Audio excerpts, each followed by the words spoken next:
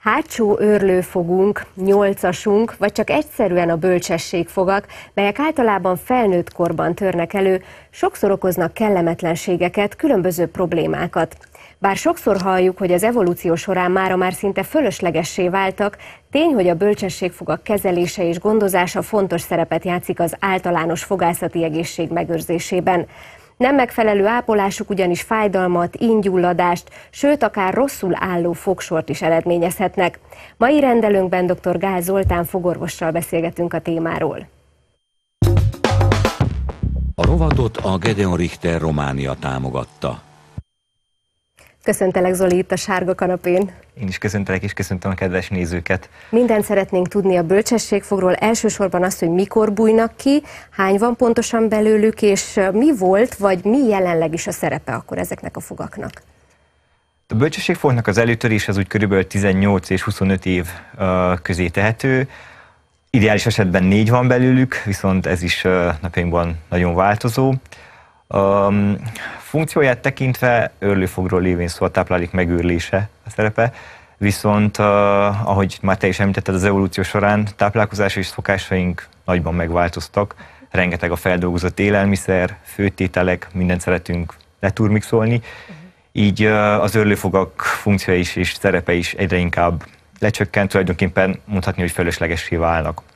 Funkciójukat tekintve a bölcsességfogak. Ez még megjelenik valamiben egyébként, hogy így az evolúció során, hogy fölöslegessé vált, akkor ez eredményez valamit? Hát tulajdonképpen az egész rágókészülék ehhez alkalmazkodott, úgy az alsó ácsontnak a növekedése és a rágóizmoknak a funkciója emiatt tehát csökken, és átalakulóban van folyamatosan. Uh-huh. Különbség van egyébként nők és férfiak között, hogy mikor bújik elő a bölcsességfog?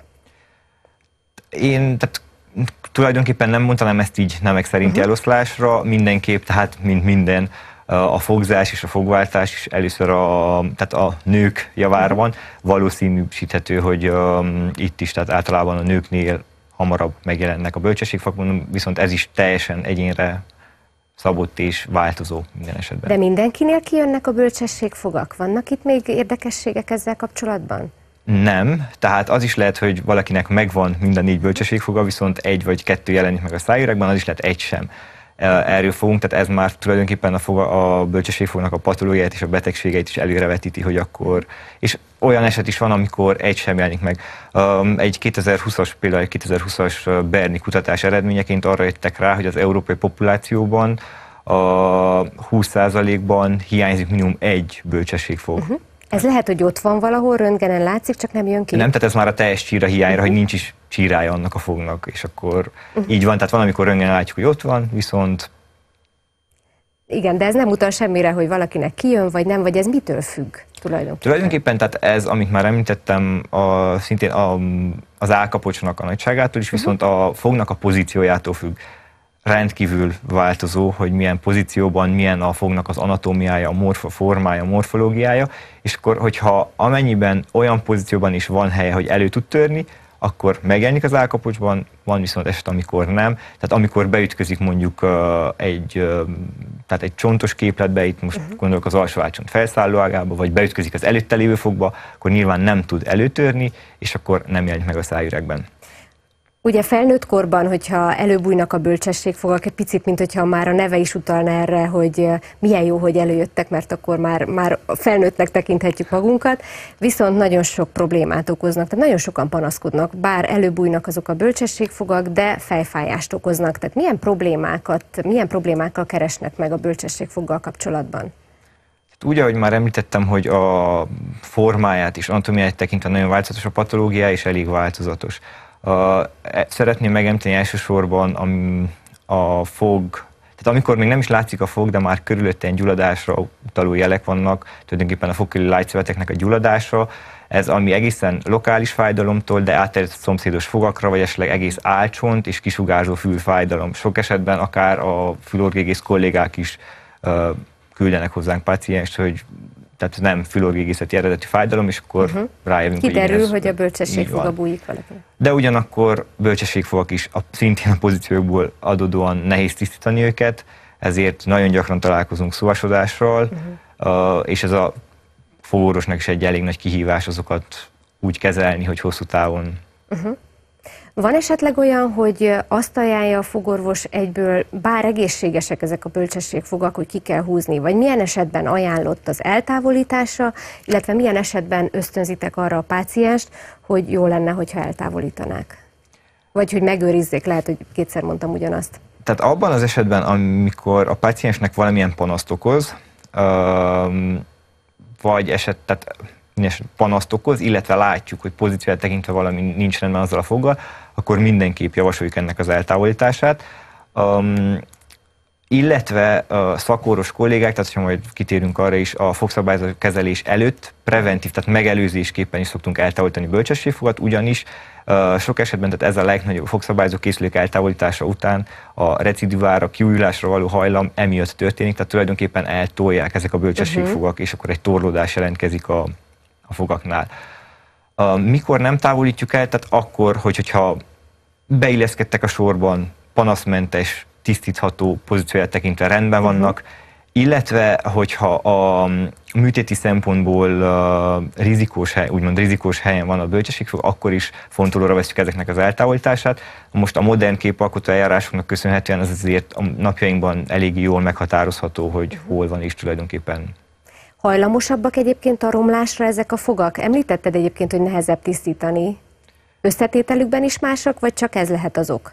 A összetételükben, hát anatómiáikat tekintve változó, mondom, tehát lehet egész egy ilyen csökkevényes fog is, ami tulajdonképpen nem is hasonlít egy molárisra, viszont lehet egy jól barázdált, bonyolult gyökérrendszerrel rendelkező örlőfog. Viszont igen, inkább a tisztítás, tehát pozíciójukat tekintve nagyon hátul vannak, igaz, tehát ambiciósabbak, ügyes paciensek, akár még fogsejemvelés, fogköztisztító, igen, uh-huh. azzal is tudják tisztítani, viszont ezek extrém esetek, általában nehéz hozzáférni, uh-huh. ebből adódóan hamarabb beszúvasodnak, és mivel nehéz hozzáférni, még előtt, esetleg az előtte lévő második molárist is megbetegíti. Megbete- így, uh-huh. hát megbetegít, tulajdonképpen nehéz tisztítani, ezért az is alászúvasodik uh-huh. is akkor.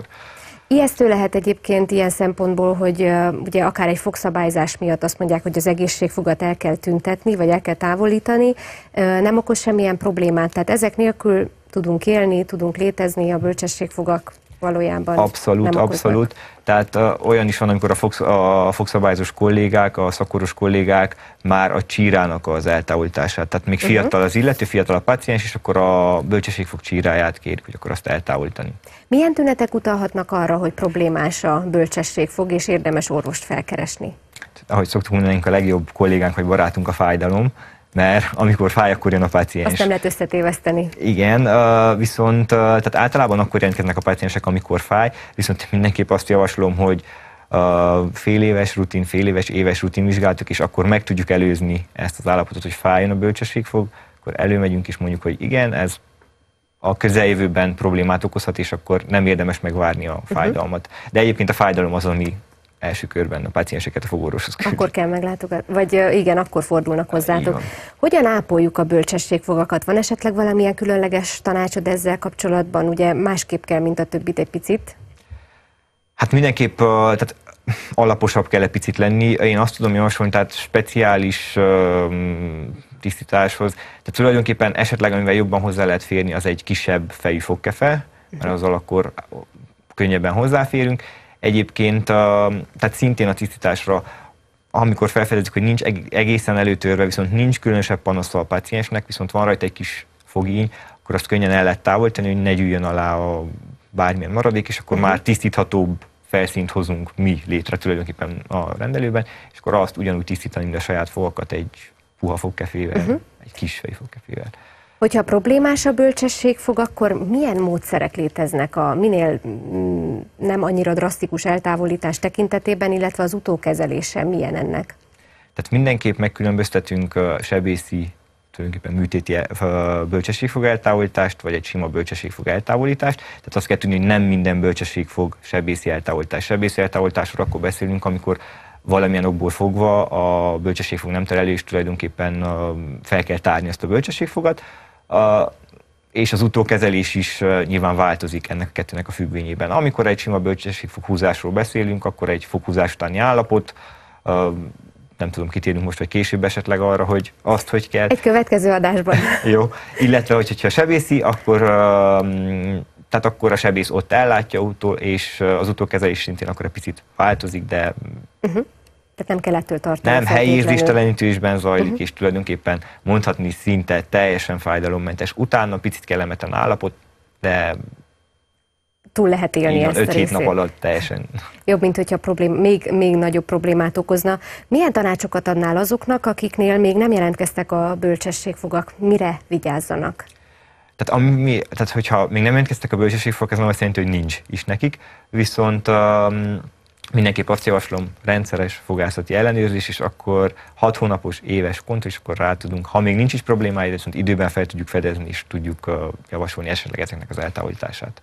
Én meggyőződtem arról, hogy a rendelőben is ugyanígy elmagyarázod ilyen tisztán a, a pácienseknek a dolgokat, úgyhogy köszönöm szépen, hogy ma is megtetted itt nálunk a mozaikban. Én is köszönöm a meghívást. A rovatot a Gedeon Richter Románia támogatta.